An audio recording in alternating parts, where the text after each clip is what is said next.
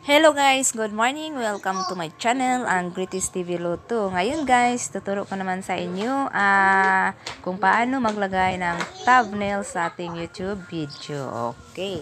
So una guys, open lang natin yung YouTube natin. Pagkatapos, click nyo lang itong your channel. Alam alam kong alam niyo na to no, kung vlogger kayo. Tapos, upload ko muna yung video ko guys. Mami, Ito. kuha ko muna kita ba? Kuha ko muna kita.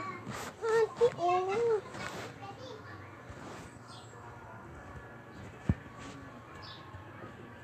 Oh.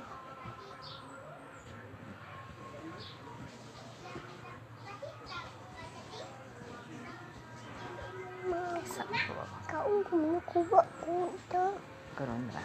Kaya dyan kayo siksi na lagi kayo nag-vlog siya. Minta ate ma.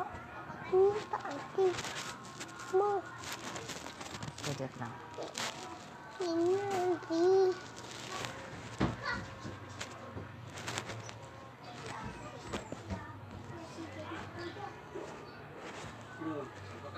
Okay, click nyo lang ng next. Tapos, upload video. Mo Okay.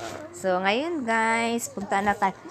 Punta na tayo sa YT Studio para pakita ko sa inyo kung paano maglagay ng thumbnail.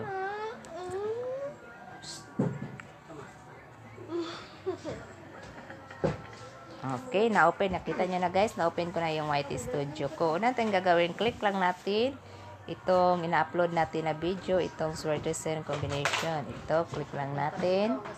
Tapos, nakita nyo itong pin sa itaas. Click lang natin to. Pagkatapos, ito naman sa gilid, pindutin lang natin ito, yung pencil. Tapos, click lang natin custom thumbnail. Okay.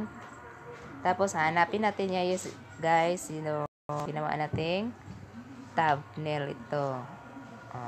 Okay, nakita nyo na ito, guys. Tapos, click lang yung done. And click save.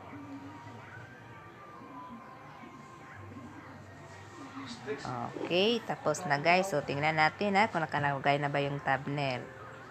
Okay, open na natin ulit yung YT Studio natin.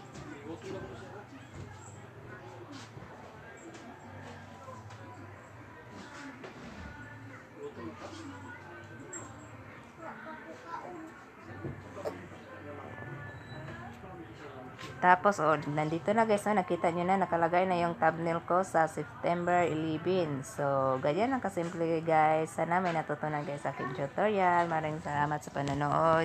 And God bless you all.